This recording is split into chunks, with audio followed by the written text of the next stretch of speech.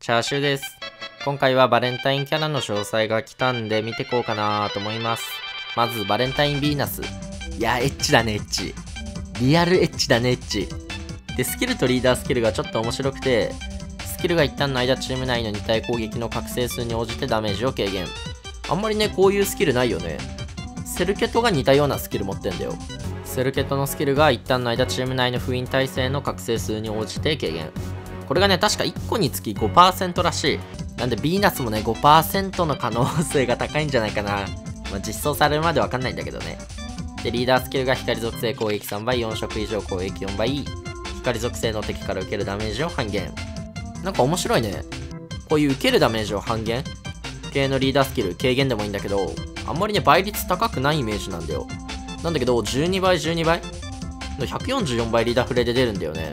なんでそう考えると、なんか、ダンジョンによってピンポイントでハマるとこがあるんじゃないかなと思う。広く深くより狭く浅くみたいな。狭く深くみたいな。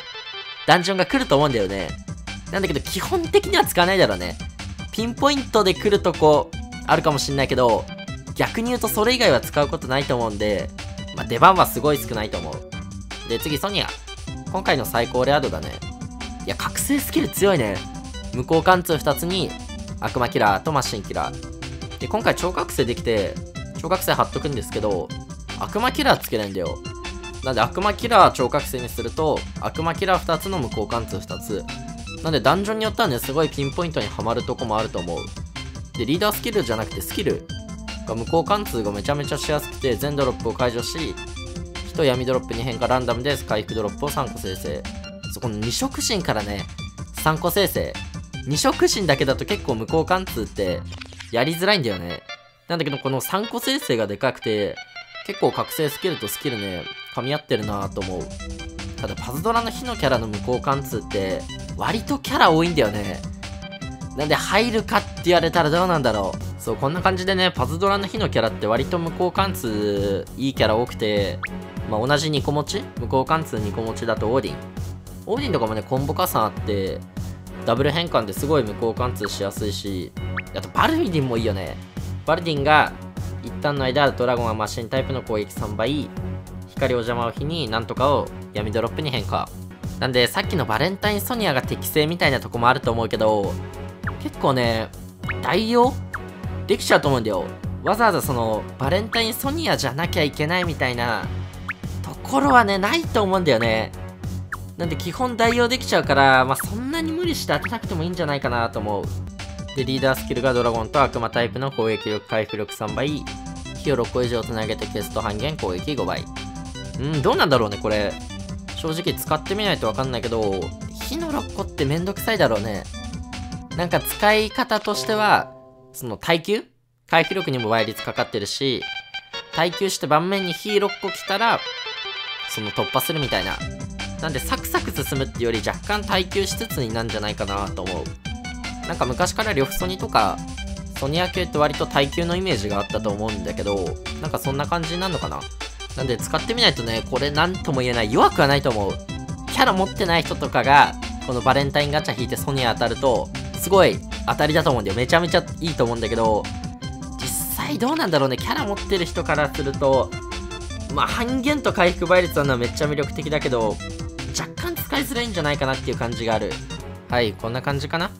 正直そんな無理して引く必要ない気がする。今月ね、7周年記念とかで、ゴッドフェスに新キャラとかね、追加されるの決まってるんだよ。まだ追加はされてないんだけど。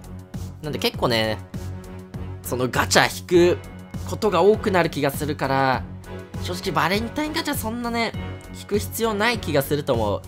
まあ、カラッとファセットシーン。まあ、この子たちがね、多分普通のガチャよりは当たりやすいと思うんで、持ってない人からするといいのかもしれないけど、まあ、正直 そんなに引く必要ない気がすんな。で、今回ね、最高レア度星8。で、ネイがね、一応情報修正されたんだよ。なんで、ネイ見ようか。ネイが、スキルがまず13ターンから11ターンになって、で、リーダースキルが、闇光の同時攻撃軽減、攻撃4倍、ドラゴンタイプの攻撃力3倍、ドロップを2秒延長。うーん、どうなんだろうね。正直使いやすいとは思う。